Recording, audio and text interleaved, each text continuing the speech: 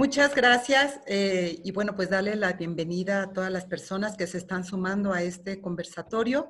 Agradecer además, por supuesto, la invitación eh, a, moderar y a quienes han hecho posible que este, esta conversación se pueda realizar. Agradezco profundamente también y mencionarles quienes están... Eh, o quienes han estado a cargo de la organización de este conversatorio, la Secretaría Ejecutiva de CIPINE y la Dirección General de Asuntos Religiosos de la Secretaría de Gobernación, son parte de estas dos eh, instancias que crean este conversatorio. También quisiera agradecer a Tejiendo Redes Infancia, por permitirnos el uso de su plataforma para llevar a cabo este espacio de diálogo y agradecer a las personas que nos van a estar acompañando en la interpretación de lenguas de señas mexicanas y traducción eh, a lo largo de este conversatorio. Erika Ordóñez, Noé Romero, eh, que nos van a estar facilitando precisamente esta traducción y esta interpretación a las lenguas de señas mexicanas. Y bueno, pues vamos a, ir arrancando en lo que la gente se va sumando. Recordar que, bueno, estamos a través de, Facebook y ojalá nos puedan compartir en sus cuentas para hacer llegar este diálogo a otras eh, y otros eh, que tenemos que ir ampliando esta reflexión eh, en estos momentos fundamentales. Creo que el tema que estamos colocando hoy es nodal en términos, la frase lo dice, niñas, no madres, eh, y lo que eso implica, lo que implica para un país como México, eh, que las niñas se estén convirtiendo en madres y que limite su desarrollo, qué, está, qué impacto va a tener en las proyecciones de nuestro país y en la vida concreta de esas niñas y esas familias, me parece que va a ser el tema central que nuestras expertas y nuestros expertos van a estar dialogando esta mañana. Y vamos a dar precisamente pie a una cápsula que ha preparado para arrancar y hacer una especie de introducción al tema y le pediría a quienes nos están apoyando con esta transmisión si podemos arrancar ya con este testimonio y regresamos a la sala.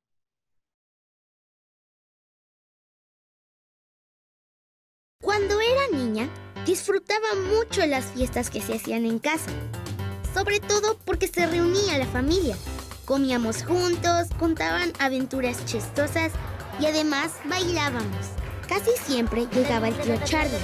Todos lo querían mucho y decían que era muy divertido. A mí me caía muy bien porque jugaba conmigo y me decía que era muy bonita. No me importaba tener que ayudar a recoger al día siguiente. Me gustaba ayudar a mi familia.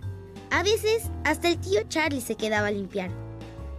Sin embargo, un día algo cambió. El tío Charlie se había quedado en casa y, cuando nadie más estaba cerca, me dijo, hoy te ves especialmente guapa. Me sentó en sus piernas e intentó darme un beso. Aunque esa vez logré escapar de él, me hizo sentir muy mal. Lo peor fue que al ratito me dijo que en la siguiente ocasión la íbamos a pasar muy bien, pues pensaba enseñarme unos juegos nuevos muy divertidos que de seguro me iban a gustar y yo, por algún motivo, me sentía asustada, como si me hubiera amenazado. No sabía qué hacer o si debía contárselo a alguien, hasta que una tarde, mientras volvíamos del parque, mi mamá me preguntó por qué estaba tan triste. Y aunque me daba pena, le dije la verdad. Mi mamá no me creyó me pidió que dejara de decir mentiras y hasta dijo que por mis mentiras podía crear problemas y separar a la familia. Pronto tuvimos otra reunión familiar. Ese día mi tío le pidió a mi mamá que lo dejara quedarse a dormir en la casa. Antes eso me hubiera dado gusto, pero esa vez sentí miedo de lo que pudiera ocurrir. No la pasé bien. Dije que prefería irme a dormir y mi mamá me dio permiso. Solo que antes, mi tío me advirtió que al rato pasaría a darme el beso de las buenas noches. No entendía por qué mi tío se portaba así. O él siempre fue igual y yo no me había dado cuenta, ¿O todo esto era mi culpa y yo, sin querer, lo provoqué? No sabía qué pensar, pero sí recuerdo que tenía mucho miedo. Cuando pensé que iba a tener una pesadilla aún estando despierta, llegó mi mamá a decirme que durmiera tranquila, porque le había ordenado al tío Charlie que se fuera y que nunca regresara a nuestra casa. Es verdad que al principio mi mamá pensó que yo mentía y eso me hizo sentir mal, pero a partir de lo que le dije, ella empezó a fijarse más. En la fiesta vio cosas que no le gustaron y decidió actuar. Ella me explicó que fue mi tío quien no se portó bien y que yo no había hecho nada malo ni era culpable de nada. Me felicitó por haber tenido el valor de hablar y se disculpó por no haberme creído al principio. Yo me sentí muy segura porque a pesar de que a mi mamá le costó trabajo creerme, al final lo hizo y me defendió, porque sé que en otros casos esto no ocurre así con la primera persona que hablas. Entonces, hay que seguir contándoselo a otros adultos en los que confiemos, hasta que alguno nos crea y nos ayude a alejar a quien nos hace sentir mal.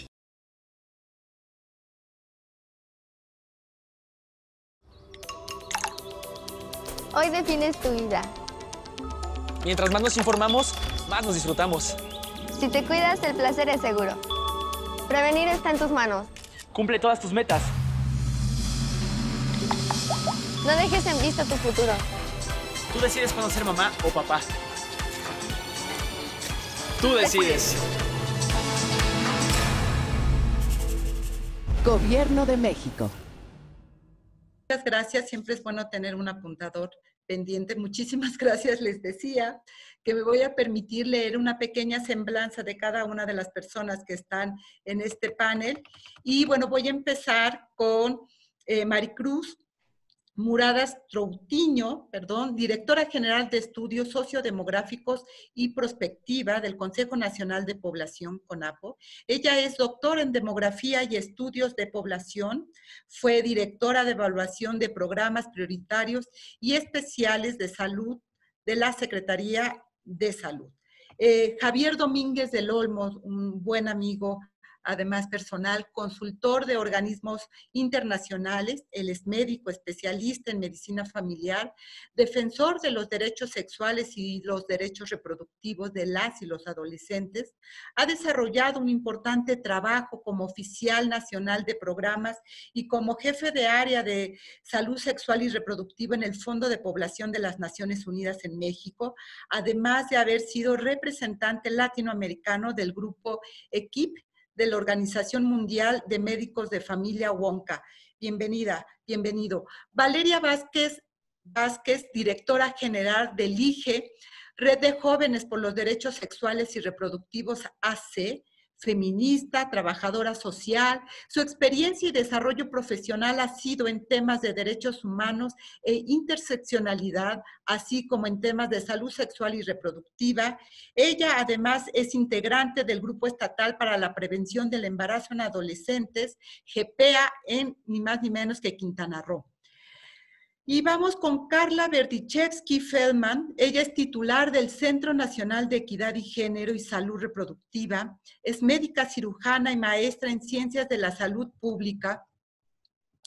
Eh, se ha desempeñado como consultora en diversas organizaciones internacionales y nacionales, como el Fondo de Población de las Naciones Unidas, la Organización Panamericana de la Salud, Organización Mundial de la Salud, el Grupo de Trabajo Regional para la Reducción de la Muerte Materna en Family Care International, la Fundación MacArthur, entre otras. Cuenta con una amplia experiencia en la dirección y diseño técnico de políticas públicas en salud con enfoque de género y derechos humanos y es autora de diversas publicaciones.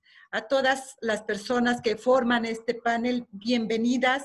Un gusto poder eh, ser una facilitadora en este diálogo que vamos a estar desarrollando. Y sin, sin más preámbulos, me gustaría que empezáramos a entrar en el tema. Y le pediría a Maricruz Muradas que nos pudiera dar un panorama del embarazo en México, los avances institucionales, las proyecciones que se tienen al respecto, incluso no solamente en el embarazo en adolescentes, sino también infantil, ante esta situación de emergencia también que, se, está provocada por el COVID. Eh, Maricruz, por favor, tenemos siete minutos cada una de las personas en este primer bloque. Les pediría que nos ciñéramos al tiempo. Adelante, Maricruz. Tu micrófono está cerrado. Te sigo. Perdón, perdón. Muy buenos días a todas las personas que nos están acompañando el día de hoy en este, en este conversatorio que me parece muy relevante este, para eh, la toma de decisiones y la política pública del país. Envié una presentación, si la pudieran este, poner o quieren que yo la comparta. Ah, creo que ya la van a, a compartir. Como voy a dar cifras, me parece que resulta más ameno este, si vemos las grafiquitas y demás, y no solo se las voy contando, ¿no? Eh, voy a hablar este, de el embarazo adolescente, la que sigue, por favor. Eh, y voy a darles un poquito el panorama en el sentido de qué es lo que está pasando en nuestro país, ¿no? En, de manera general, ¿por qué tenemos tasas de fecundidad que son tan altas? Yo la veo muy borrosa, no sé si ustedes también la ven muy borrosa, perdonen. ¿Sí?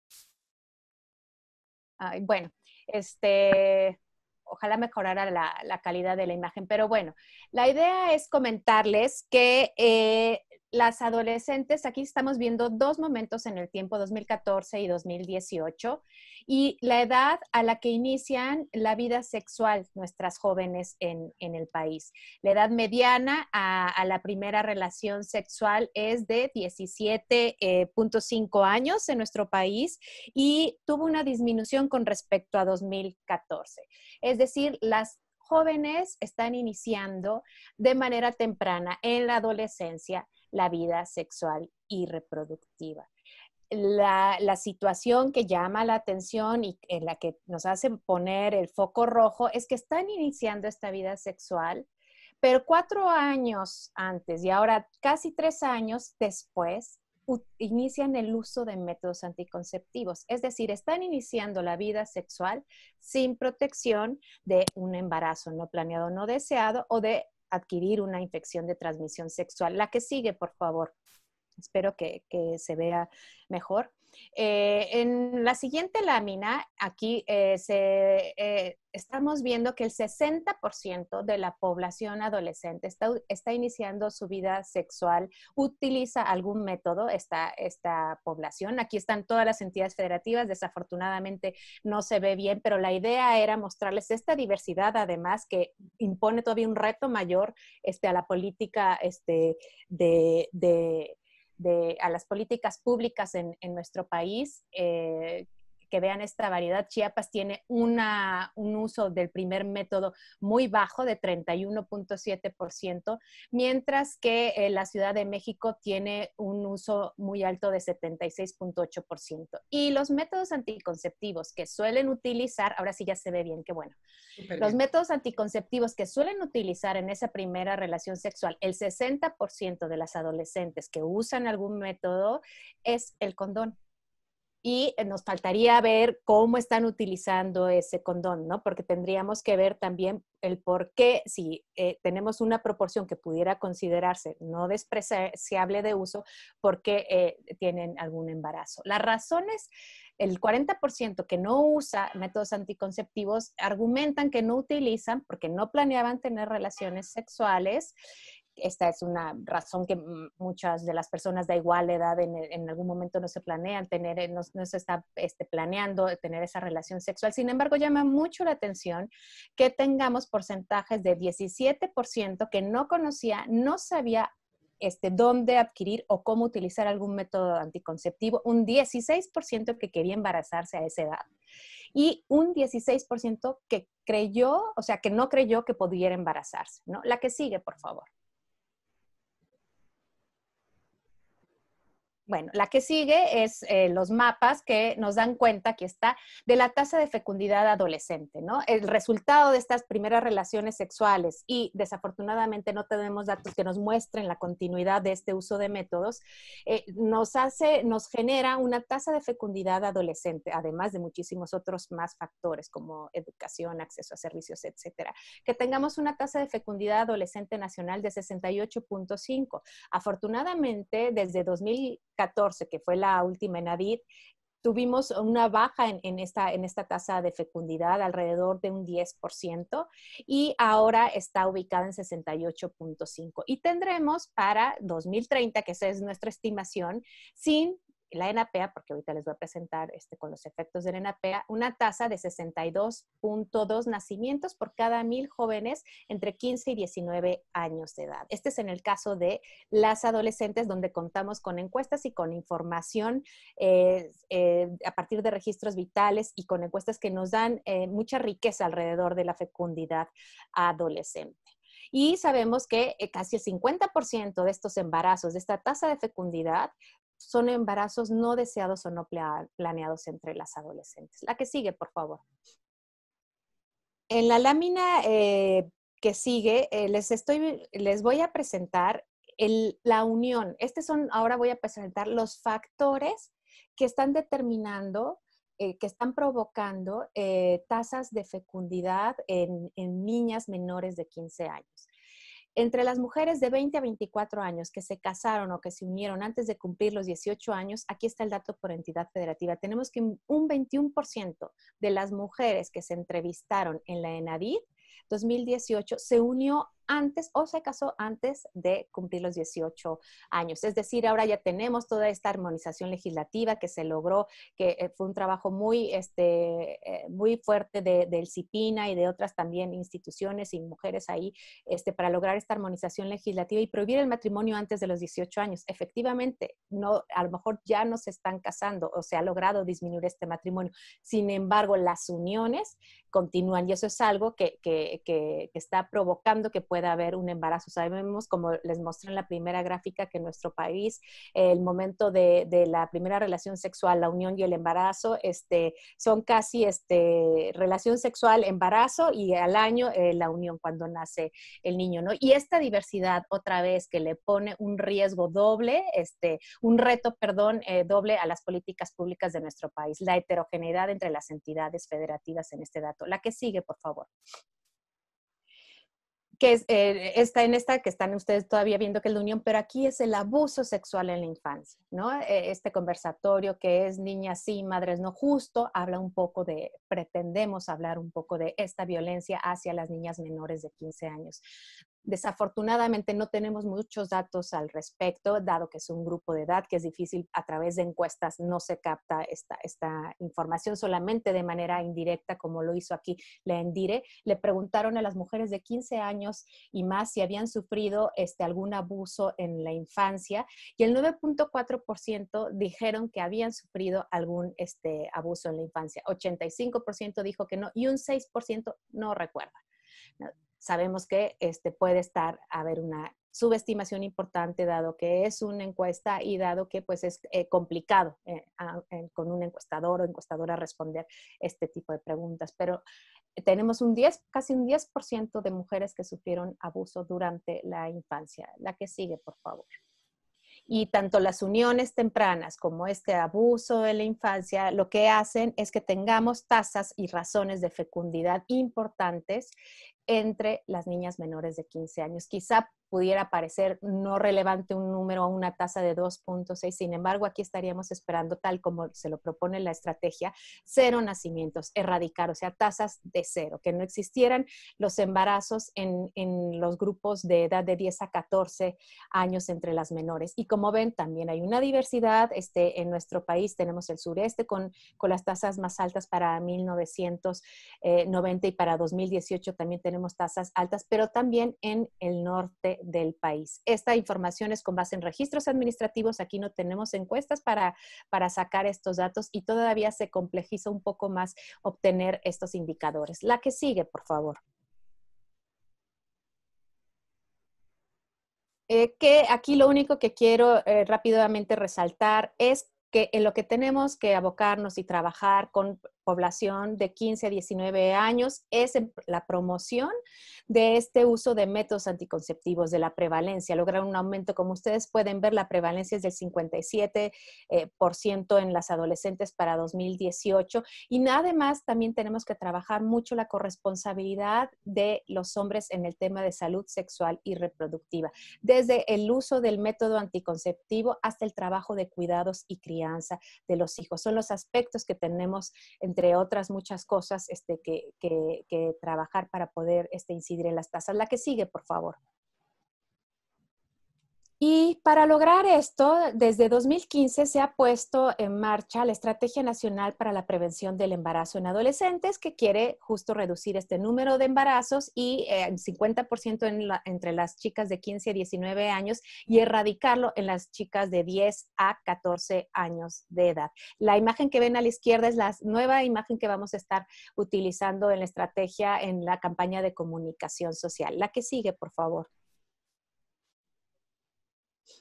Como ustedes saben, la estrategia se pone este, en marcha a través del Grupo Interinstitucional para la Prevención del Embarazo en Adolescentes, que es quien se encarga de ser el mecanismo, establecer los mecanismos de coordinación entre las distintas instituciones y también a través de tres subgrupos. El subgrupo que coordina a los grupos estatales de prevención de embarazo en adolescentes, el subgrupo de menores de 15 años que está coordinado por el CIPINE y que, tiene, que ha tenido acciones muy relevantes, sobre todo cabe este, destacar de verdad este mecanismo para la atención y protección de niñas y adolescentes embarazadas y o madres, que ya está el piloto en, el estado de Hidalgo y que está funcionando bien y que se espera que se pueda implementar en todas las entidades federativas, y un subgrupo de indicadores que lo que pretende, es, lo coordina el CONAPO, que lo que pretende es ver, este, monitorear y dar seguimiento a la estrategia a través de los indicadores, ver si está dando resultado la política pública. La que sigue, por favor. Y ahora con esta nueva administración nos hemos eh, dado cuenta, eh, a pesar de haber tenido éxito en la disminución del embarazo en adolescentes, estamos tratando de reorientar esta estrategia. Lo que queremos hacer es que las acciones sean más efectivas, fortalecer aquellas que, que nos puedan este, ayudar a incidir de manera más eficiente en el embarazo en adolescentes. Entonces, muchos de ustedes quizás este, no sepan, pero se está realizando una evaluación, la está realizando, la estamos realizando de manera conjunta con Neurosocial, que nos va a permitir identificar, ya tenemos resultados este, parciales y de los cuales ya estamos echando mano para esta justo reorientación. Vamos a reorientar este, la estrategia a partir de los resultados de, eh, de Eurosocial. Eh, en diciembre del año pasado, la ministra, la secretaria de Gobernación, leyó un decálogo que estamos también tratando de incluir para que se reenfoque que no se redirijan estas acciones. Este, estamos tratando de, delimitarlas, estamos este, eh, tratando de trabajar de manera eficiente, esa es la propuesta, en los ejes transversales de la estrategia, que es el enfoque, eh, la perspectiva de género, la perspectiva de, curso eh, de vida y la pertenencia intercultural. ¿No? Y a través de esta teoría del cambio, este, queremos definir nuevas estrategias y acciones puntuales que puedan este, incidir en el embarazo adolescente de manera aún más eficiente de lo que se ha hecho hasta el momento. La que sigue, por favor. Y una de esas maneras de hacerlo es a través de la campaña de comunicación social que el CONAPO eh, elabora junto con las otras instituciones que, que están este, eh, trabajando en la estrategia y a través de ella queremos este, empoderar a, la población adolescente. A través de la frase yo decido, a través de, por supuesto, y por medio de la educación integral en sexualidad para que la población adolescente conozca sus derechos, los ejerza y tome decisiones asertivas que tengan una buena, un buen cauce en su proyecto de vida. Y la que sigue, por favor es, quería mostrarles que también en lo que hemos trabajado es a partir de esta reorientación hemos estimado estas nuevas, este, no son nuevas, pero hemos reestimado las metas para la estrategia de 2024 y 2030 por entidad federativa. La que sigue, por favor, lo que nos va a permitir este, determinar este, cuál es el número de embarazos que la estrategia estamos pensando este, prevenir. Al principio yo les había puesto que la tasa en 2030, según las estimaciones de CONAPO con proyecciones, es de 62.2. Sin embargo, con la estrategia y con la meta que se tiene de reducir en un 50%, la tasa debería de ser en 32.7. Lo que estaríamos esperando es para 2024 prevenir más de 118 mil embarazos en, en, adolescentes y en todo el periodo de 2021 a 2030 más de 700 mil embarazos si se eh, logran las metas establecidas en todas las entidades federativas, es decir, una reducción del 50%. En algunas entidades federativas tendrá que ser más, dado que tiene una tasa más alta y en otras una tasa menor. Y me, me voy a quedar aquí porque eh, la segunda parte quiero, en la segunda parte de mi intervención quiero presentarles este, datos que hemos obtenido a partir de esta emergencia sanitaria que, que estamos eh, viviendo. Hemos hecho estimaciones de los embarazos que eh, no planeados o no deseados que podrían estar ocurriendo, dado que las jóvenes este, o los jóvenes podrían no estar utilizando métodos anticonceptivos para la prevención. Entonces, esto es a grandes rasgos un poco el panorama del, embarazo adolescente, de dónde partimos, cuáles son este, las tasas que se tienen, cuáles son algunos, no todos, pero algunos de los factores que están provocando este embarazo en adolescentes y en menores de 15 años, que sobre todo la violencia ahí es, este, es un factor que es el que tiene mayor incidencia y que estaríamos esperando prevenir en este periodo. Muchas gracias. Pues a ti muchas gracias, Maricruz, porque has cumplido muy bien con los tiempos este, y, ha sido muy clara este panorama efectivamente que nos das, nos permite eh, dimensionar el reto al cual nos estamos enfrentando como país y los riesgos y consecuencias del embarazo en adolescentes y niñas es un tema que tenemos que colocar también en el centro. Y ahí voy a pedir que nos ayude a ir hilvanando estas...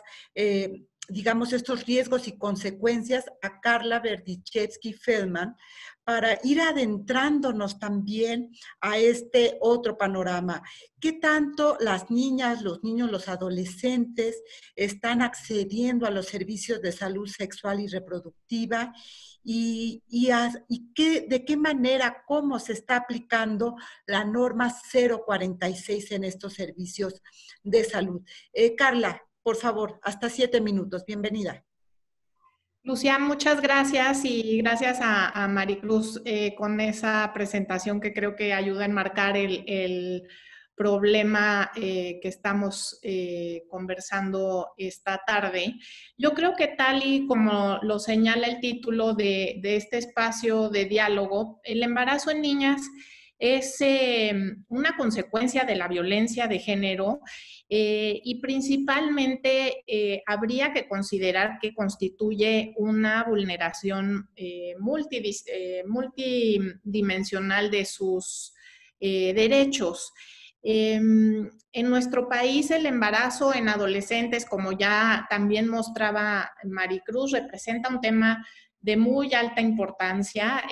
por ello, todos estos mecanismos que se han establecido para el trabajo eh, multisectorial, eh, pero eh, desde la Secretaría de Salud en particular nos compete implementar las acciones preventivas y de atención que corresponde pues para las embarazadas adolescentes, pero en este caso en particular para las niñas. Y hablando de, embarazo adolescente en general, de alguna forma invisibiliza la situación particular eh, tan delicada eh, por la que transcurren eh, las niñas embarazadas, sobre todo aquellas menores de 15 años, considerando, reitero, que los determinantes son enteramente distintos, ya que estos embarazos se presupone son producto de una violación sexual o de uniones o matrimonios forzados.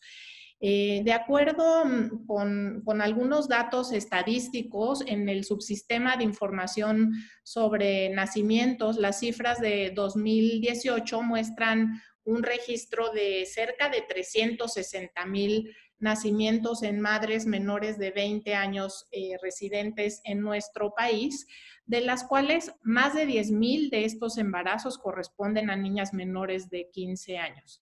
Incluso eh, para ese año se registraron cinco nacimientos en niñas menores de 10 años.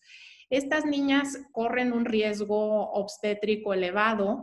Eh, conocemos que las cifras de muerte materna en niñas son al menos cuatro veces más altas que, eh, por ejemplo, en mujeres de 20 a 30 años. Eh, y además de las consecuencias de estos embarazos en la salud de las niñas, los efectos negativos se traducen también en sus recién nacidos, quienes enfrentan eh, un mayor riesgo de morir en las primeras semanas de vida. Igualmente, cuando se comparan estos recién nacidos con los bebés de mujeres de grupos de edad más altos, como lo son las mujeres de 20 a 29 años.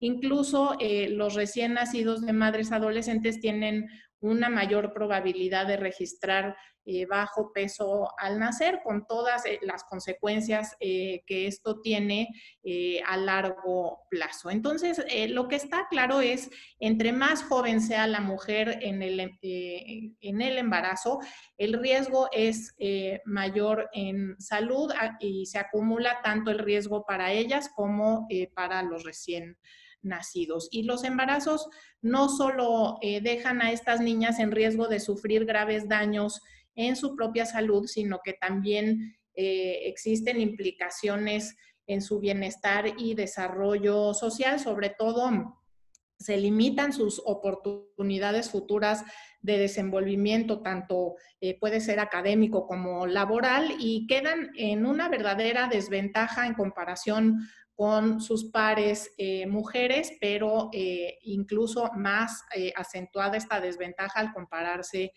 con sus pares masculinos. y entonces, la pregunta común frente al embarazo adolescente es siempre el origen de estos embarazos y como muy acertadamente Maricruz ya lo mostraba, pues la, el origen realmente se confirma analizando eh, datos que tenemos a la mano. Eh, por ejemplo, esta la encuesta, la Endiré, eh, que también mostraba Maricruz, donde casi el 10% de, de, las mujeres entrevistadas declaran que fueron víctimas de algún tipo de abuso sexual antes de los 15 Sabemos también que mm, aproximadamente un tercio de las niñas y adolescentes han reportado que su primer encuentro sexual fue bajo algún tipo de coerción. Eh, y esta expresión de vulnerabilidad es más evidente a menor edad de la niña o la adolescente o cuando mayor es el diferencial de edad con la pareja y o el progenitor. Eh, de acuerdo con algunas cifras de, CONAPO, en el 50% de los embarazos en niñas de, de 10 a 14 años y en más del 65% de adolescentes de 15 a 17 años, el progenitor tenía entre 18 y 20 años, o sea, una marcada diferencia realmente entre eh, la edad de, la niña y el progenitor. Eh, pero más allá de, estas cifras que eh, para documentar estos casos de, violencia a través de encuestas y de estas fuentes de información, pues que tienen un alcance mucho más grande a nivel poblacional, tenemos la, la documentación y el reporte de casos particulares en los que desafortunadamente y desde el sector salud hemos ignorado de alguna forma o se han naturalizado realmente los embarazos en niñas menores de, 15 años, aun cuando se sabe que estos pueden ser eh, resultado de una violación sexual.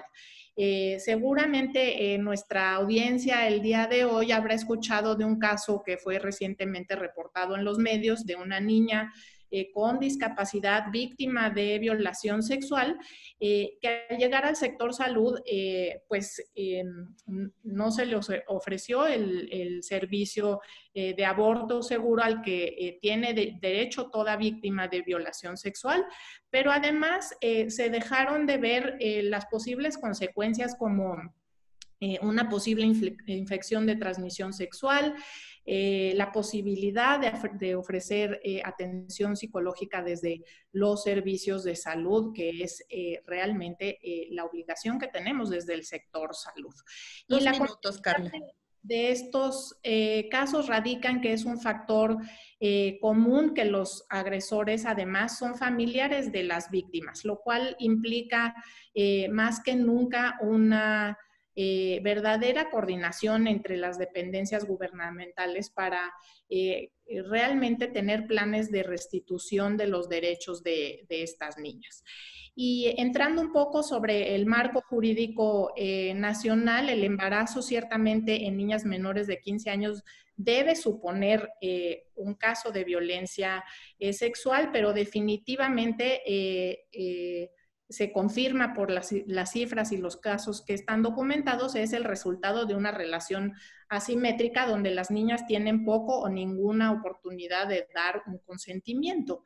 Y los datos ah, en ese respecto también eh, son claros. Las niñas que tienen un nacido vivo, eh, de ellas solamente el 1% de los progenitores son del mismo grupo eh, de edad y en 28% de los casos ni siquiera se registró eh, la edad del progenitor. Y esto demuestra relaciones de poder desproporcionadas entre eh, las niñas que están teniendo embarazos y los varones. y entonces, en el marco de la norma oficial mexicana, la NOM 046, que se denomina de violencia familiar, sexual y contra las mujeres, criterios para prevenir y atender, eh, se señala que una persona víctima de violación debe recibir atención integral por parte de las instituciones públicas, eh, sobre todo las de salud, incluido el servicio de interrupción voluntaria del embarazo por medio de procedimientos de aborto eh, seguro conforme lo previsto en las disposiciones jurídicas de protección de los derechos de las víctimas. El aborto seguro está previsto como una causal para interrumpir un embarazo resultado de una violación en todas las entidades federativas de nuestro eh, país. Eh, pero además de ello existen servicios especializados de eh, violencia. Tenemos en el país más de 500 servicios en donde el personal está capacitado y sensibilizado para aplicar esta norma 046 para detectar y atender de forma integral los casos de violencia eh, sexual. Eh, por aquí em, cerraré esta parte de mi intervención eh, solamente mencionando que ante las cifras de embarazo en niñas es cada día más claro que requerimos redoblar los esfuerzos y de impulsar estrategias locales que atiendan estas problemáticas que llevan al embarazo forzado en niñas como un problema realmente distinto a lo que engloba el embarazo adolescente eh, como una eh, situación particular eh, y álgida que vivimos en nuestro país. Muchas gracias, Lucía, por, por este espacio y la moderación. Muchas gracias, Carla. Como verá nuestra audiencia, que déjenme compartir, ya tenemos 1.200 personas que están dando seguimiento a esta conversación de diferentes entidades federativas, lo cual nos da mucho más gusto. Eh, tenemos a Hidalgo, Veracruz, Ciudad de México, Estado de México, Guerrero, Oaxaca, Morelos, Guanajuato, Chiapas, Tabasco, Baja California Sur, Sinaloa, Sonora, San Luis Potosí, Colima, Puebla, Nayarit, Yucatán. Muchas gracias por acompañarnos en este diálogo que como nos vamos dando cuenta va abriendo la dimensión de la emergencia, diría yo, de la importancia de hablar, de dialogar, de analizar estos temas para poder no solamente tener la información, sino poner, eh, ponernos en acción, ponernos a actuar. Hace unos días leía un libro de Doris Letzing que se los eh, recomiendo muchísimo, eh, que se llama Las cárceles que elegimos. Y ella dice que como nunca tenemos eh, hoy mucha información.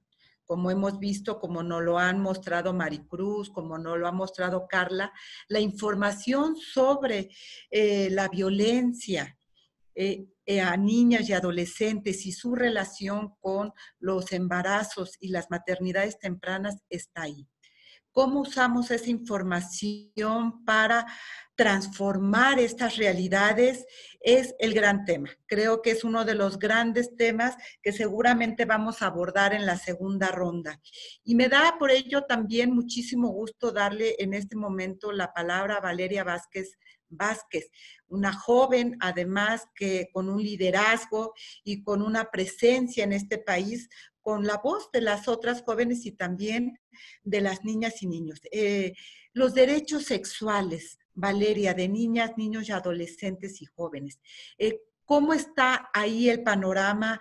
La autonomía, hablamos de autonomía progresiva de las adolescencias y las juventudes, que hoy me parece en este país es fundamental colocar al centro cuando hay intentos de echar atrás precisamente lo ya ganado, lo, lo que hasta hoy se tiene y que hay que cuidar, indudablemente. Valeria, por favor, siete minutos.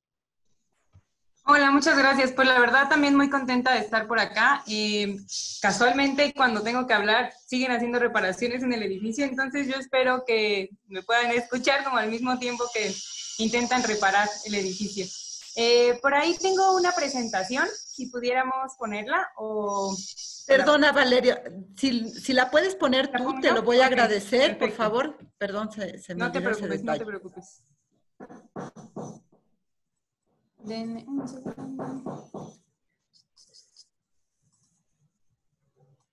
Y mientras decir que ya empiezan a llegar algunas de las preguntas, invitar a, nuestra audiencia a que nos haga llegar esta pregunta y que hagamos de este espacio un verdadero diálogo entre nuestras personas expertas y quienes estamos dando seguimiento a este conversatorio. Adelante, Valeria. Muchas gracias. También intentaré hacer eh, la mayor eficiencia del uso del tiempo. Eh, pues nada, aquí estoy al pendiente también si me paso. Sobre todo esta presentación es para presentarles un video y un poco de apoyo. No hay eh, como muchas cosas que ver por acá. Pero bueno, contarles primero que desde el IGE, pues somos una organización civil de hombres y mujeres jóvenes que venimos trabajando, ay Dios, por la defensa y promoción de los derechos sexuales y reproductivos en las personas jóvenes no solo en la Ciudad de México o en el país, también en América Latina y el Caribe. Y por ello, para nosotras, el embarazo en adolescentes es un tema de primordial importancia, ¿no? Para nosotros es importante poder mirar eh, como dos dimensiones. Por un lado, el contexto y por otro lado, eh, la forma de abordaje que tenemos ante el tema. Y por ello quiero mostrarles primero un video que engloba un montón eh, nuestra perspectiva y al final solo hacer un punteo de algunas cosas que nos parecen relevantes. Entonces, Voy a poner el video. Espero que se puedan mirar y escuchar. ¿Se escucha? Muy bajo. Si pudiera subir un poco el volumen a...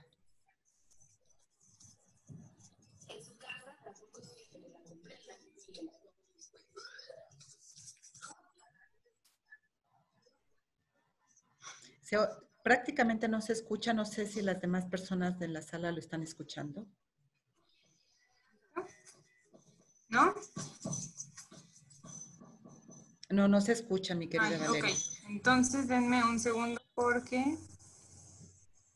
Mm, listo, es que cuando se comparte la pantalla me parece que hay que poner otra opción. A ver, creo que lo logré.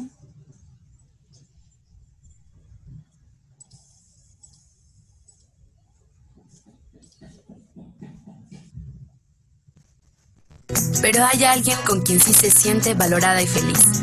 Él es su novio Luis. Qué bueno es verte, aunque sea un poquito. Lila ama a Luis y por eso hace y deja de hacer muchas cosas por él, aunque a veces eso sea un sacrificio para ella.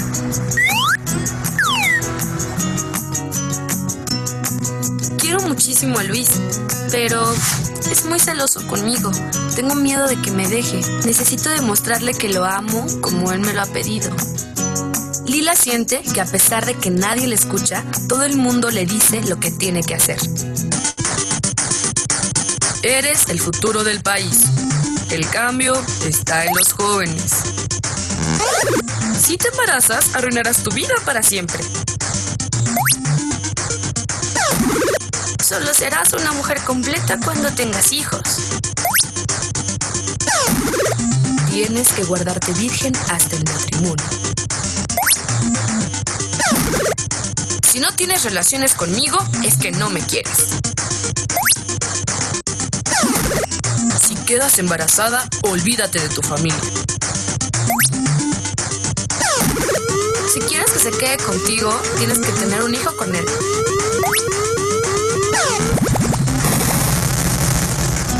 Es necesario reconocer que las adolescentes son personas con derechos y capacidades.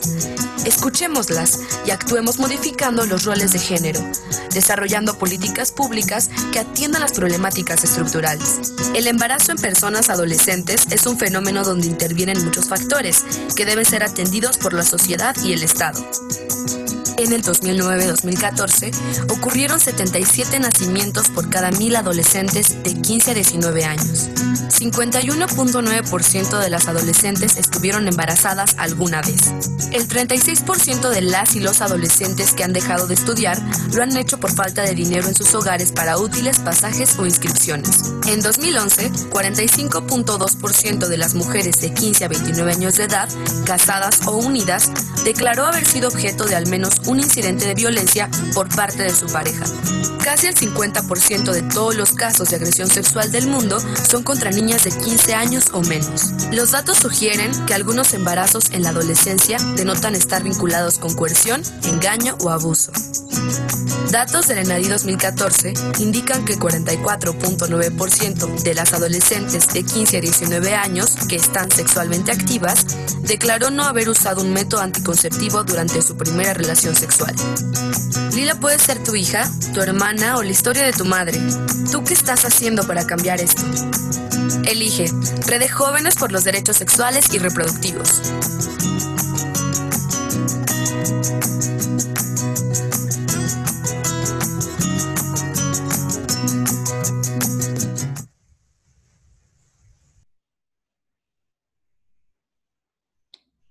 Si abres tu, tu micrófono, Valeria. Sí, creo que ahora se escucha más ruido allá afuera, pero bueno, intentémoslo. Eh, bien, como les decía hace un rato, es como este video engloba un montón de la perspectiva que tenemos para abordar el embarazo adolescente. Si bien hay que poder entender que el embarazo adolescente tiene un montón de factores y además un montón de eh, problemas sociales estructurales, el, el embarazo se vuelve un fenómeno multifactorial, ¿no? Y para eso nosotras, que es un poco lo que les decía antes de que comenzara el video, para eso nosotras eh, necesitamos poder mirar las perspectivas con las que trabajamos. Y por ello los derechos sexuales y reproductivos nos dan todo este marco y sí, este marco para poder abordarlo. Primero, poder reconocer dos cosas, que es la perspectiva de juventudes y la autonomía progresiva. La, autonomía progresiva nos dice, eh, tú vas a adquirir todas las capacidades y habilidades que vas a necesitar para tu toma de decisiones al momento de crecer. Por ejemplo, eh, cuando nosotros teníamos, no sé, pienso, dos años, tres años, no sabíamos vestirnos, pero fue una habilidad que fuimos adquiriendo con el tiempo y además la fuimos poniendo en práctica conforme los adultos a nuestro alrededor nos fueron enseñando. Entonces al final, cuando teníamos seis años, ya podíamos elegir qué nos queríamos poner y cómo queríamos vestirnos. Eh, así pasa, por ejemplo, con lo que quisimos eh, comer, quienes no quieren comer carne, fue una decisión que fueron tomando a partir de la información que tenían a su alrededor y por supuesto que implicó una serie de habilidades en el contexto. así pasa también cuando eres adolescente y tienes que poder elegir un método anticonceptivo, por ejemplo. Tienes que tener toda la información a tu alrededor y no solo la información, sino las capacidades y habilidades desarrolladas para poder hacerlo.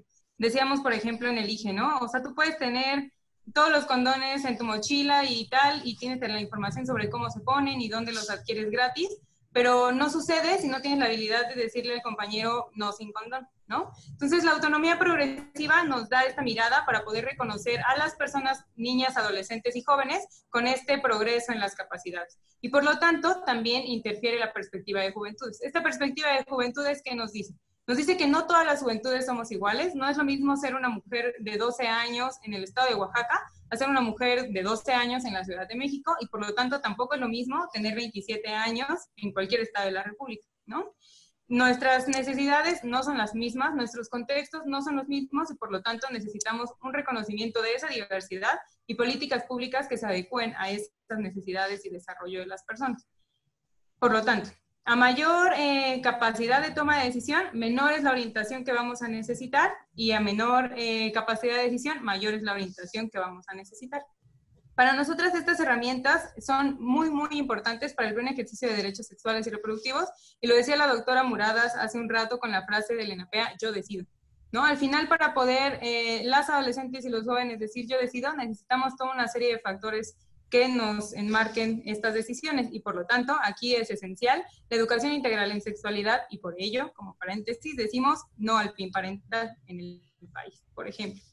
Y el otro, lo otro que debemos tomar en cuenta para el análisis del fenómeno del embarazo adolescente, por supuesto, son los contextos, que es eh, lo que ya se ha hablado en las dos presentaciones anteriores. Necesitamos tener una serie de oportunidades de desarrollo que nos permitan tener una elección libre para nuestro pleno ejercicio de derechos y el acceso a los derechos. Si yo soy una persona que tiene nueve años, soy una niña de nueve años que vive en una comunidad donde a mi alrededor nadie ha podido tener acceso a la universidad, nadie tiene acceso a un empleo digno, por lo tanto, la construcción de mi, eh, mi plan de vida va a ser otro. Yo no miro que pueda tener esas posibilidades y entonces lo cambio a partir de las oportunidades de desarrollo que tenemos. Es por eso que eh, para nosotras el contexto es bien importante, porque también hay embarazos que ocurren en contextos donde hay mucha violencia como una forma de aferrarse a la vida de las mujeres jóvenes. Entonces, por eso es bien importante desmenuzarlo y además eh, poder tomar en cuenta eh, las decisiones de las personas jóvenes.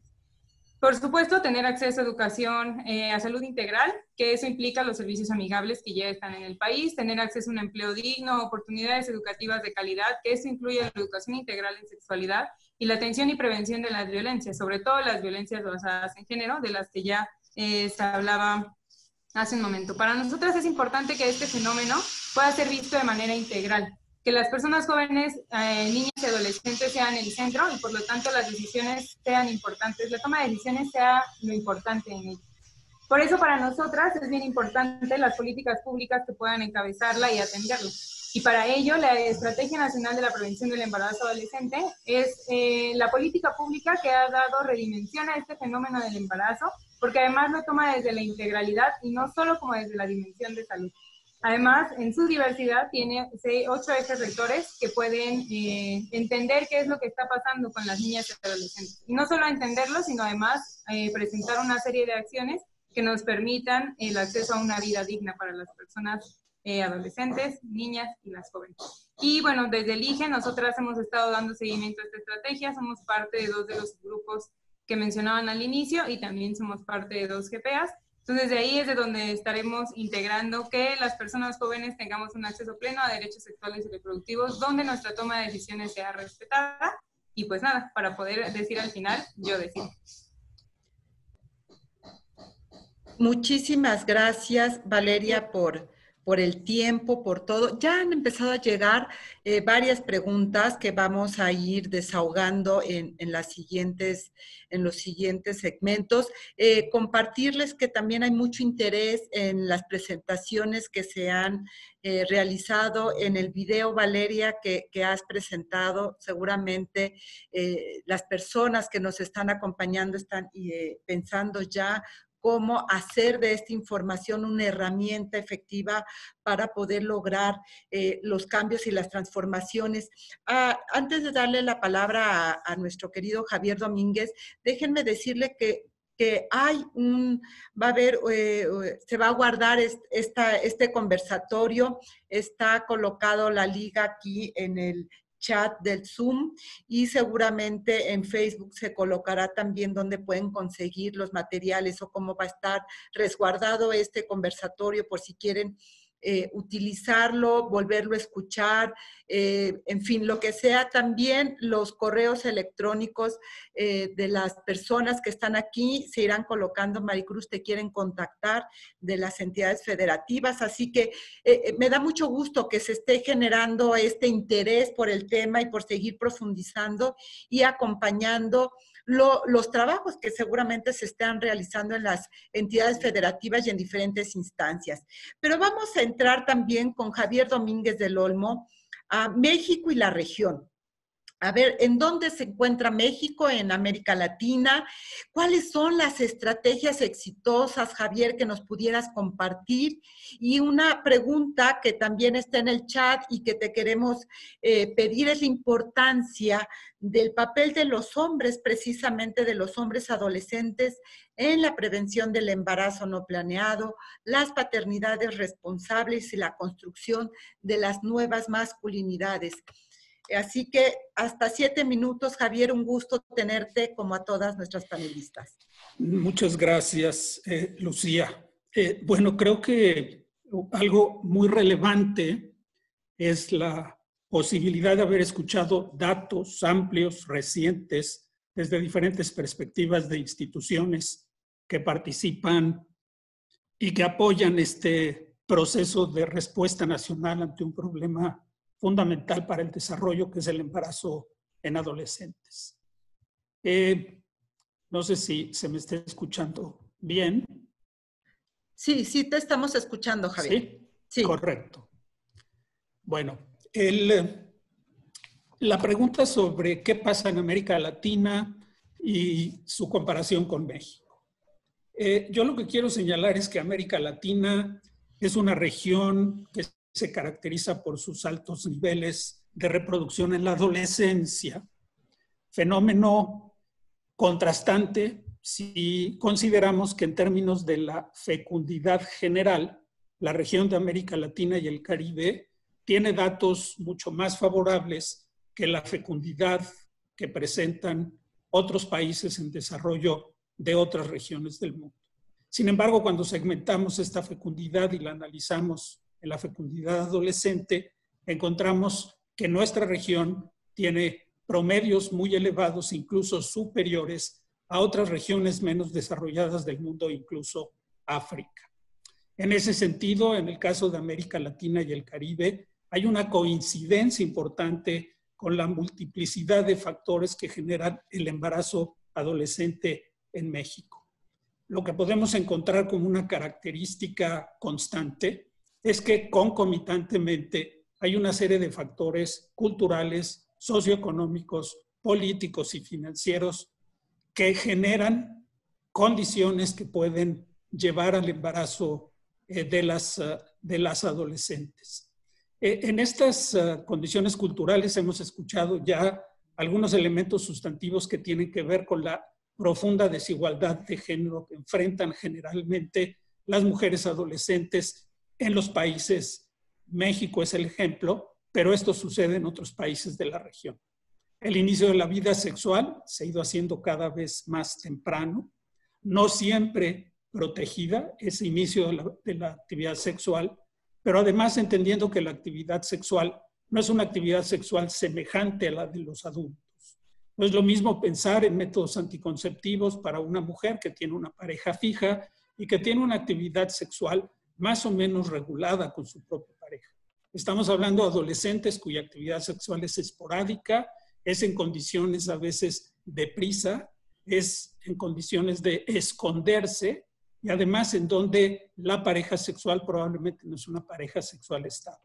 Esto hace complicado y riesgoso el ejercicio de esa sexualidad, a la que le estamos agregando esta profunda desigualdad de género el video que nos acaba de presentar Valeria muestra algunos de los ejemplos característicos de nuestra región. Pero también América Latina enfrenta una serie de rezagos en términos de políticas públicas. Los programas para promover la educación sexual de manera formal o informal son generalmente débiles. Se enfrentan también la dificultad de leyes existentes pero no cumplidas o no reglamentadas o no homogéneamente aplicadas en el contexto geográfico de los países. Se encuentra también un desconocimiento profundo de lo que son los derechos sexuales y reproductivos, no digamos otros derechos humanos vinculados a los derechos sexuales y reproductivos. Esta concomitancia genera una serie de adversidades. Una pregunta que nos hacemos sustantivamente, y creo que en el chat ya aparece, es ¿y por qué se embarazan las adolescentes? ¿Qué podemos hacer para evitar el embarazo en adolescentes? Bueno, la respuesta es muy compleja. Compleja, pero al mismo tiempo factible. ¿Por qué razón? Porque si dimensionamos el fenómeno del embarazo adolescente como un fenómeno con múltiples factores determinantes, podemos encontrar las rutas para ir atendiendo esos factores determinantes y lo más importante, y aquí hago una llamada a quienes participan en esta sesión, podemos identificar lo que a cada quien nos toca desde lo individual, desde lo personal y familiar y desde lo laboral realizar para contribuir a que este fenómeno vaya disminuyendo. En este sentido, hay una serie de adversidades que se relacionan con el embarazo adolescente. Y estas adversidades a veces son causa, pero a veces son resultado del embarazo adolescente. Es decir, es un fenómeno circular que lamentablemente en este momento suele ser un círculo vicioso, pero que lo podemos transformar en un círculo virtuoso y ahí va a estribar el éxito potencial de las intervenciones. El tema de la salud es una adversidad ya discutida y Carla ya nos habló de los principales factores que pueden afectar la salud de las mujeres, pero al mismo tiempo es una oportunidad para que cuando las mujeres asisten a los servicios las podamos atrapar, lo digo entrecomilladamente, para convertirlas en sujetos de atención y cumplimiento de su derecho a la salud.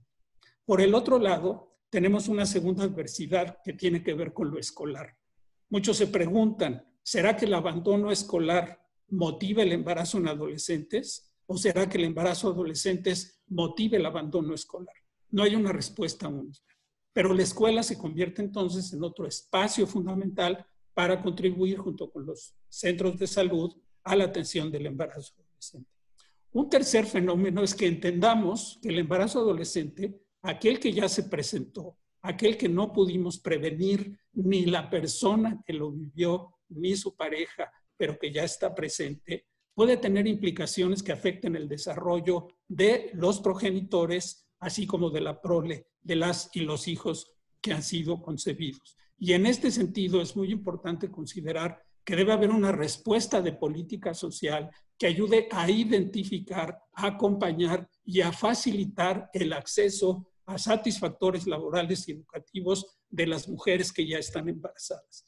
Se han hecho estudios que han demostrado que mientras más temprana es la edad del primer embarazo, la fecundidad personal de esa mujer se incrementa. Es decir, aquellas mujeres que tuvieron su primer embarazo a temprana edad, es muy probable que tengan más hijos a lo largo de su vida reproductiva que aquellas que lograron postergar el embarazo.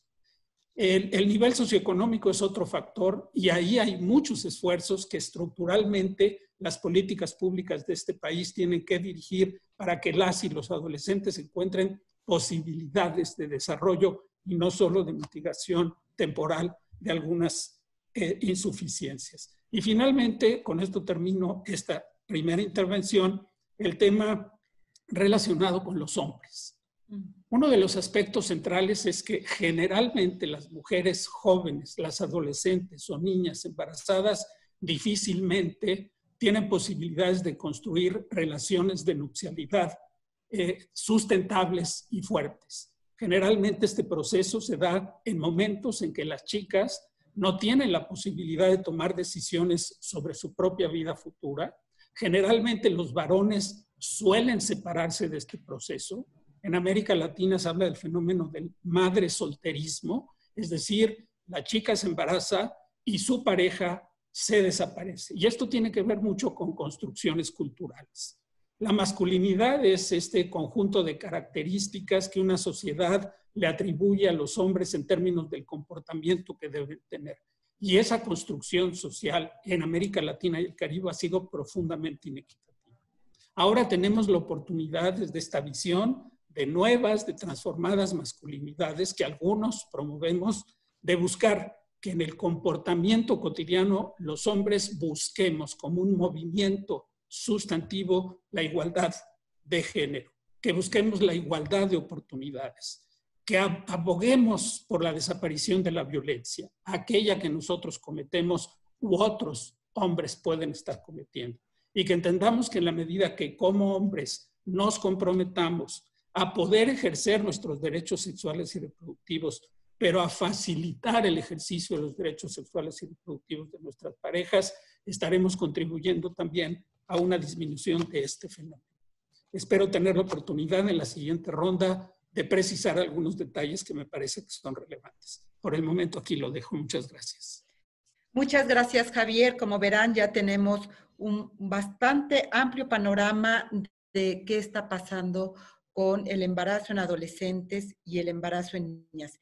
17.5 eh, años es el inicio de la vida sexual, nos decía Maricruz, en nuestro país. Y no es solamente que inicien su vida sexual eh, a temprana edad, sino que pasa eh, en promedio tres años para poder usar anticonceptivos precisamente para evitar embarazos no deseados. Una de las razones, no es la única, ya nos lo han dicho nuestras expertas y nuestro experto, no se planean las relaciones sexuales en esta etapa de la vida. Y otro de los grandes temas que estamos mirando en esta revisión es precisamente el abuso sexual, la violencia contra niñas y adolescentes que se está ejerciendo. Y creo, quiero rescatar acá uno de los eh, datos que se daban es un tercio de las niñas y adolescentes que iniciaron su vida sexual lo hicieron bajo coerción, lo hicieron presionadas precisamente y tiene mucho que ver con esta con este video que nos presentaba Valeria, de todos estos mensajes que se van enviando muchos contradictorios hacia las niñas y adolescentes de su ejercicio de la sexualidad. Pero el otro tema tiene que ver con las diferencias de edades entre las niñas y, como le llamaban, Carla, los progenitores eh, de, las hijas e hijos de estas adolescentes. La brecha de edad efectivamente nos sigue hablando de estos abusos de poder, de esta desigualdad de poder efectivamente que se da en estas relaciones. Y vuelvo a retomar un dato, solo el 1% de estas niñas que tuvieron hijas e hijos eh, el progenitor era de la misma edad. Es decir, estamos hablando precisamente de la enorme, la enorme desigualdad que se sigue enfrentando.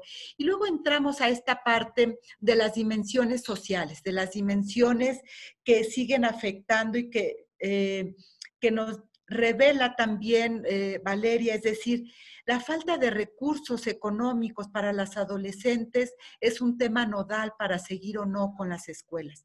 La falta de dinero para el transporte, la falta de dinero para eh, acceder a este derecho que es la educación, sigue teniendo un centro nodal que tendríamos que estar revisando porque ahí también las desigualdades de género se marcan y es una de las razones también que pudiéramos ir analizando por las cuales las jóvenes, las adolescentes eh, van dejando la escolaridad a un lado estas eh, y que en estos momentos de pandemia donde todo se está replanteando, el modelo económico, el modelo social, la, la forma de organizarnos socialmente y de convivir, creo que es un momento fundamental para replantearnos también las relaciones de género.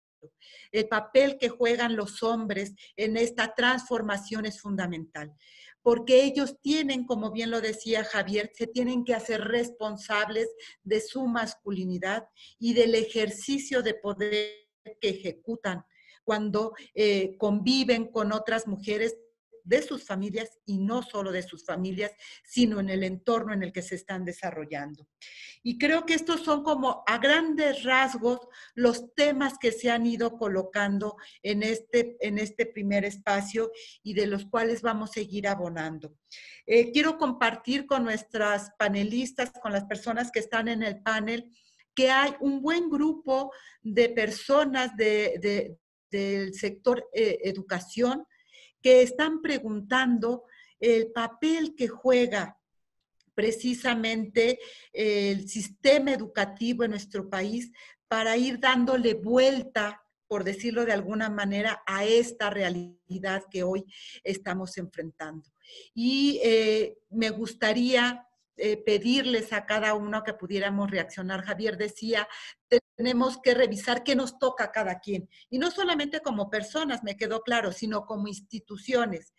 ¿Qué podemos hacer desde el lugar que, tenemos en las instituciones para poder ir erradicando esta violencia contra niñas y adolescentes que genera embarazos no deseados, maternidades no planeadas con todas estas consecuencias. ¿Qué lugar ocupa el sistema educativo y eh, cómo se puede fortalecer su papel en esta eh, erradicación de la violencia hacia las niñas y adolescentes, pero también para ser eh, mejores, digamos, dar las herramientas necesarias para tomar las mejores decisiones en los momentos que hay que tomar. ¿Quién quisiera empezar en esta primera ronda de preguntas? Si quieren, hago tres preguntas eh, como para ir colocando parte de lo que ya se ha ido poniendo en, el chat y, me gustaría que pudiéramos irlas eh, abonando. Las políticas sociales que necesitamos ir desarrollando son suficientes las que están hoy o hay que profundizar en algunos otros temas. Me gustaría también que pudiéramos responder a esta pregunta. Y em, los retos que se van colocando. Permítanme dos segundos para checar las preguntas del chat, pero ay, siempre pasa eso con la tecnología.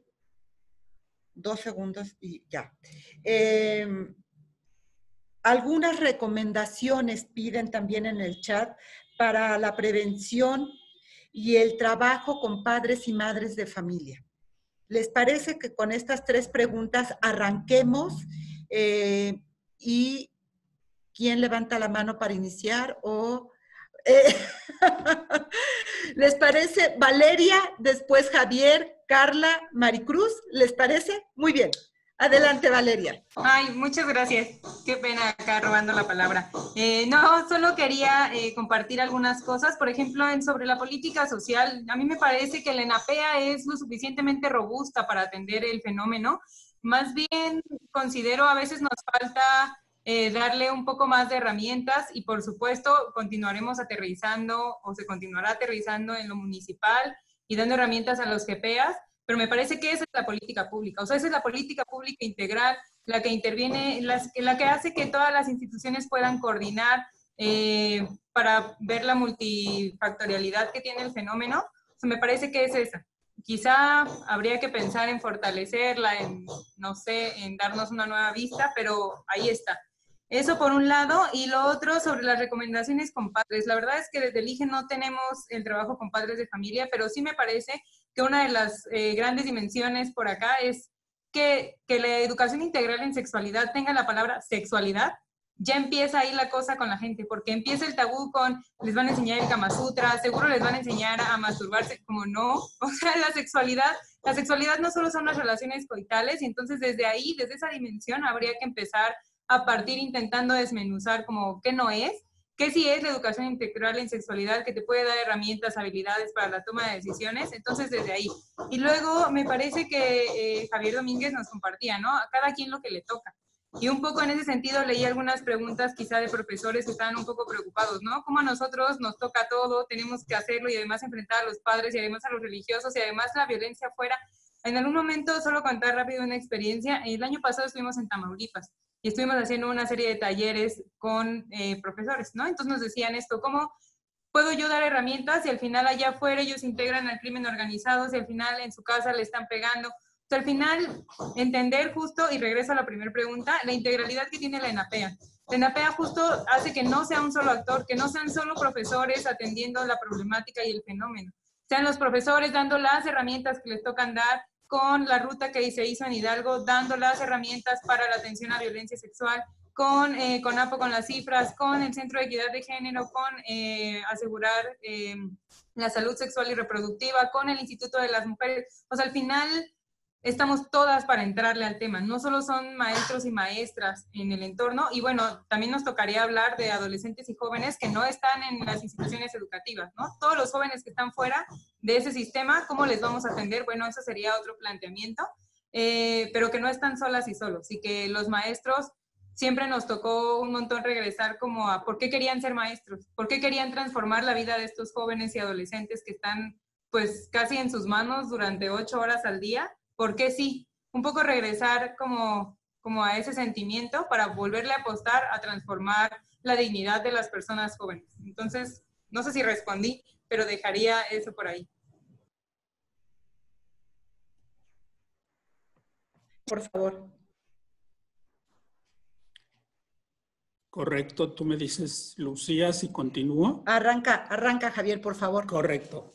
Muy bien, me, parece muy relevante lo que señala Valeria y, quiero un poco abordar en ese mismo término para terminar mi comentario tratando de dar respuesta a la inquietud del sector educativo. Eh, la atención al embarazo adolescente requiere de ciertas estratégicas, ciertas estrategias básicas para poder tener éxito. La primera es que hay que pensar en que hay intervenciones de carácter nacional, de carácter estatal y de carácter local. Todos los niveles tienen que estar participando. México en este momento tiene la gran oportunidad de hacerlo con el Grupo Interinstitucional para la Prevención del Embarazo Adolescente, que tiene la responsabilidad de implementar la ENAPEA.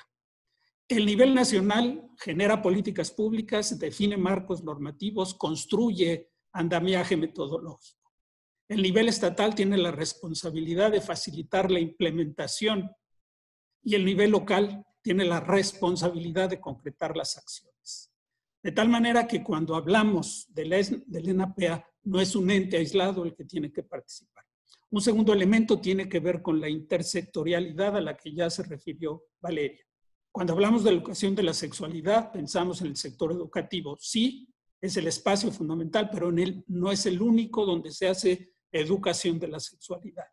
Este componente que es fundamental en la prevención de la ENAPEA, tanto lo inmediato como lo, como lo inmediato requiere de la participación de la sociedad civil, del sector salud, del sector educativo y de otras entidades sectoriales que pueden contribuir a su implementación pero en lo local son las escuelas lo que lo tienen que hacer. Eh, currículum sobre educación de la sexualidad. México ha sido un ejemplo histórico del diseño curricular de educación de la sexualidad. El reto no es el currículum. El reto es cómo éste aterriza en las y los adolescentes para que tomen decisiones en un marco de derechos y en un marco de igualdad de género. Y en ese sentido, las escuelas deben entender que el tema de la sexualidad debe diferenciarse dependiendo de los diferentes grupos a los que llevamos la educación de la sexualidad. Esto es, tenemos que focalizar las intervenciones. No es lo mismo un grupo de estudiantes a nivel rural que a nivel este, eh, eh, urbano, no es lo mismo un grupo de población indígena, no es lo mismo un grupo de adolescentes no escolarizados, de tal manera que tenemos que focalizar las intervenciones de educación integral de la sexualidad con los actores competentes. El siguiente elemento es que hay grupos más vulnerables que otros y a los que hay que dar prioridad en su atención.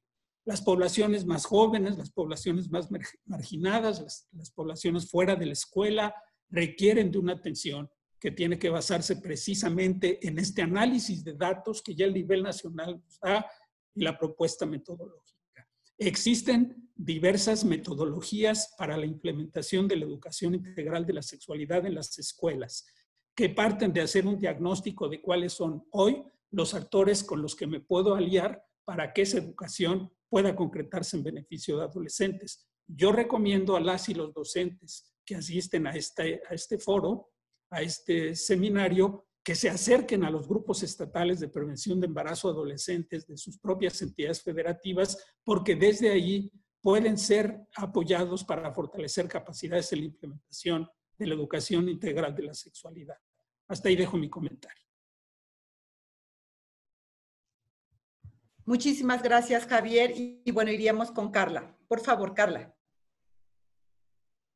Muchas gracias, Lucia. Yo creo que este tema eh, da para una discusión eh, muy amplia, pero sí quisiera eh, aprovechar esta segunda intervención para Resaltar que tenemos bien identificados algunos retos compartidos, sobre todo desde esta perspectiva interinstitucional e, e intersectorial para el abordaje eh, del embarazo en niñas. Y creo que está claro de, las presentaciones iniciales de este panel que sigue siendo un pendiente el mejorar y unificar los sistemas de información.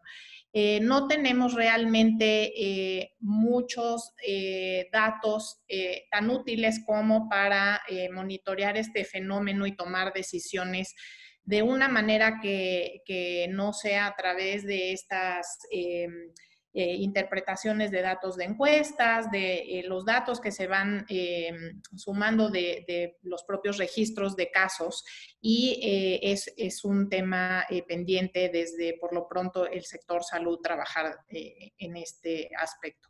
el tema del trabajo en educación integral en la, en la sexualidad, no solamente con los grupos de niños, niñas y adolescentes, sino también eh, el trabajo pendiente con los prestadores eh, de salud para que ofrezcan un verdadero servicio que sea amigable y que responda a las necesidades de niños, niñas y adolescentes, pero también la educación eh, integral en sexualidad que incluya a los familiares y los docentes eh, con una perspectiva eh, de trabajo, como se señalaba antes, sobre el tema de masculinidades y las relaciones no violentas tan necesarias para eh, la prevención del, embarazo en niñas.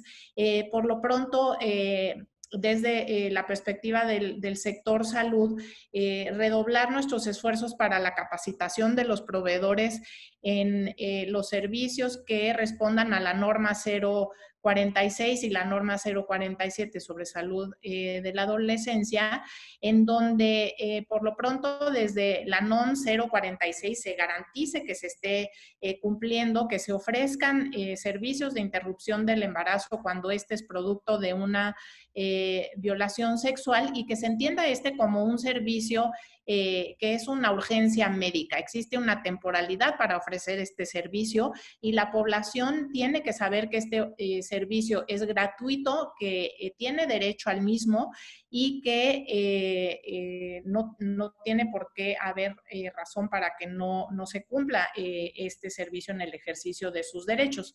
Para ello, y lo dejé en el chat de, de la sesión, eh, hemos estado ya trabajando en estrategias de comunicación, sobre todo en la población, y dejé la liga a un video eh, sobre justamente el, acceso a aborto seguro eh, de acuerdo a la norma 046 en casos de embarazo por violación eh, sexuales. Agradeceré nos puedan ayudar a difundir el mismo.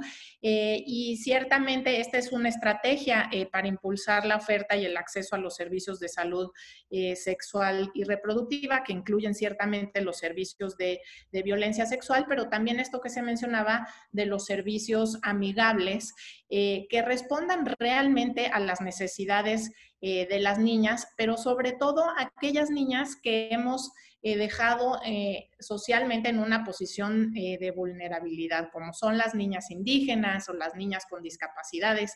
Y realmente los servicios tienen que aterrizar en, atender las necesidades tan particulares que puedan ser de cualquiera de estas niñas que están en territorio eh, nacional.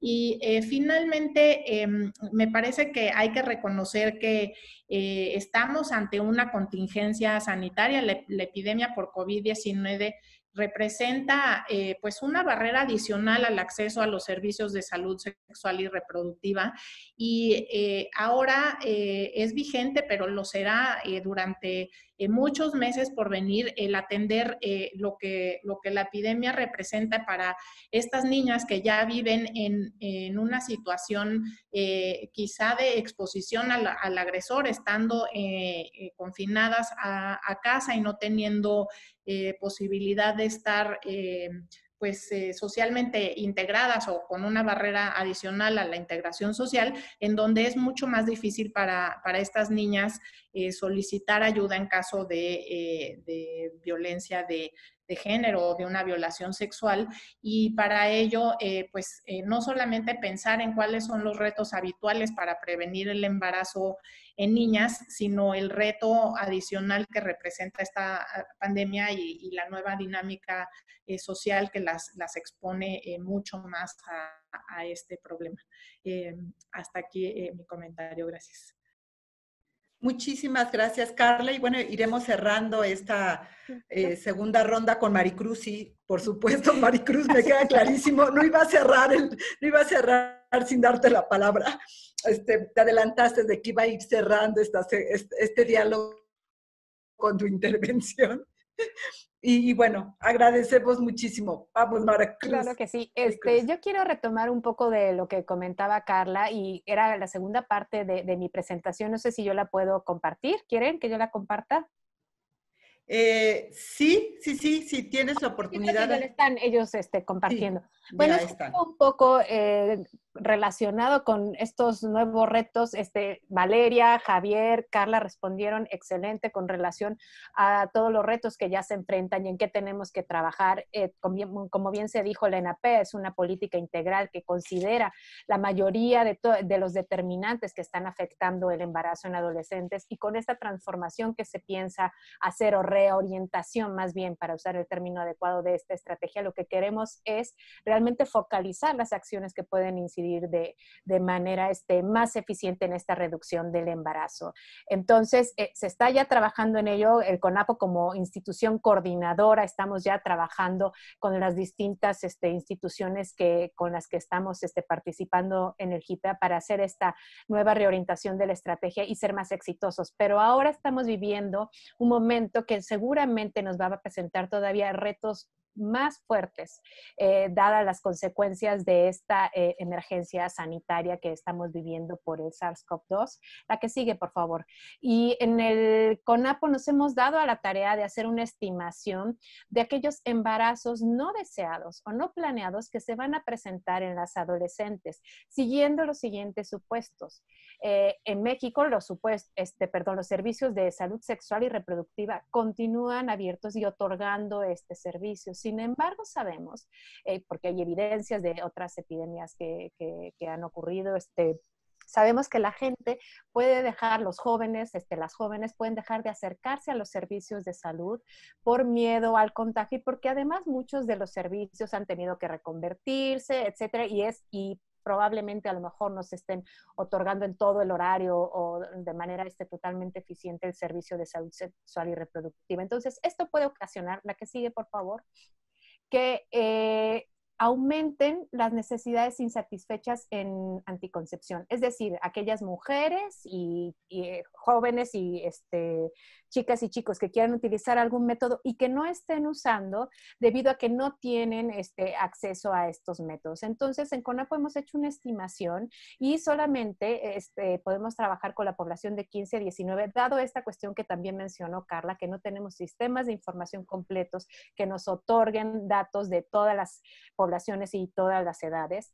Eh, y hemos estado trabajando en la necesidad insatisfecha de las adolescentes. ¿Qué pasaría si este, esta necesidad insatisfecha, que suele ser este, del veintitantos por ciento, 28 por ciento, si no mal recuerdo, en adolescentes, ¿qué pasaría si se incrementara durante la pandemia esta necesidad insatisfecha? ¿Cuántos embarazos no deseados y no planeados estarían ocurriendo? Y hemos trabajado tres este, alternativas, una conservadora que aumentara esta necesidad insatisfecha en 10%, una moderada, un 20%, y una pesimista que aumentaría en 30%. Después tenemos un segundo escenario que la necesidad insatisfecha en adolescentes desciende durante la pandemia. ¿Por qué? Porque como hay una mayor vigilancia de los padres, se supone que los chicos y las chicas están confinados en el hogar, quizá sea más complicado este, tener vida sexual para los jóvenes. Sin embargo, las adolescentes unidas, ellas sí mantienen este, el mismo riesgo y el mismo nivel de necesidad insatisfecha. Y hay otro tercer escenario, perdón, que es el llamado baby boom. Eh, ahora, durante la pandemia, las parejas no están teniendo a lo mejor con la misma frecuencia vida sexual, dada la ansiedad, el temor, eh, lo que ocasiona toda esta situación, ¿no? Sin embargo, después de de, al que suceda, al que pase ya eh, la pandemia, puede ser que se incrementen los nacimientos. La que sigue, por favor. Y la que sigue para darles ya el número adicional.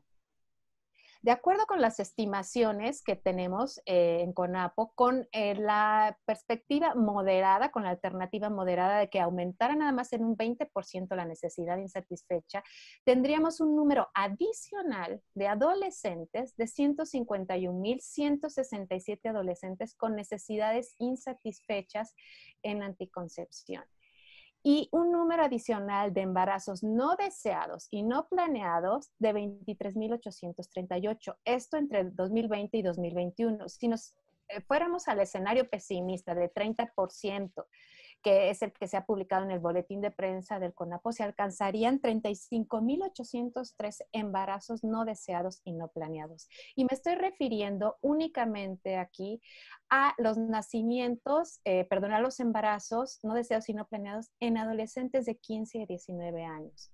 Desafortunadamente no tenemos manera de medir y el efecto puede ser, este, lo vamos a ver hasta el próximo año, este, con los datos este, de los registros administrativos, si es posible, y hasta después con los registros, este, las estadísticas vitales de lo que sucedió eh, con las niñas o lo que está sucediendo con las niñas de 10 a 14 años, que es lo que también comentó Carla, que está muy relacionado con la violencia y con el confinamiento que ahora se está viviendo. Muchas veces tenemos al agresor viviendo este, con, con, la víctima y abusando de manera reiterada de, esta pequeña, lo que puede estar ocasionando algún embarazo no deseado o no planeado. Entonces, ya el problema que, traía, que teníamos de eh, tasas de embarazo adolescente altas, tasas este, existentes de eh, embarazos en niñas menores de 15 años, habrá que agregar ahora eh, en esta pandemia, además de todos los factores sociales este, y económicos que vamos a tener como resultado de esta emergencia sanitaria, un número adicional de embarazos no deseados y no planeados entre 2020 y 2021, lo que nos invita a, trabajar más y a realizar más esfuerzos y coordinarnos mejor desde el nivel federal este, con el resto de, de compañeras e instituciones y al nivel, este, trabajar también a nivel local, lograr esa coordinación interinstitucional e intergubernamental para realmente poder incidir y atajar todas eh, las consecuencias que puede tener este incremento este de, embarazos no deseados y no planeados. Gracias. Muchísimas gracias, Maricruz. Eh, con este cierre que, que, terminas en términos de proyección de lo que nos puede ocurrir como país si no hacemos que esta información que todas ustedes han dado nos sirva como herramienta efectiva para poder construir nuevos escenarios dentro y fuera de nuestras casas para nuestras niñas, niños y adolescentes. Las tareas que le toca a cada una, a cada institución es mucha y estamos seguras que efectivamente, como bien lo señala, una mejor articulación entre las instituciones nos llevará a mejores puertos en este futuro que, que, que estamos reescribiendo como humanidad. ¿no? Creo que todavía los efectos de esta pandemia en términos sociales, en términos humanitarios, están por venir. Y lo que no vayamos haciendo ya hoy eh, nos va a costar el doble o el triple eh, para poder remontar.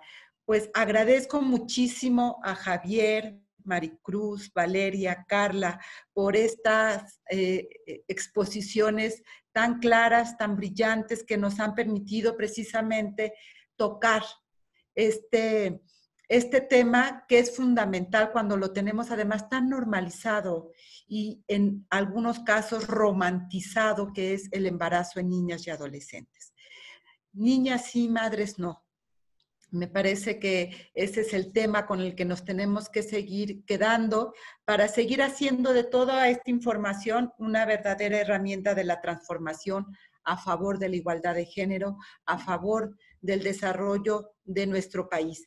Gracias a Cipina, gracias a, quienes han hecho eh, posible precisamente este diálogo y este conversatorio. Les invitaría a nuestra audiencia de las diferentes entidades federativas a que se mantengan atentos a los siguientes eh, conversatorios que seguramente estará realizando CIPINA y eh, con diferentes instituciones. A todas ustedes, muchas gracias. Y cerraríamos hasta aquí el panel, el conversatorio. Muchas gracias a Cipina por la invitación a moderar y a reencontrarme con, con todas ustedes. Muchas gracias, tengan excelente tarde, hasta luego. Gracias. Hasta luego. Gusto saludarles. Muchas gracias. gracias a Cipina. Gracias, gracias a todas. Gracias, Pina. Gracias, Lucía. Excelente coordinación. Muchas gracias. Muchas gracias. Un gusto. Hasta luego.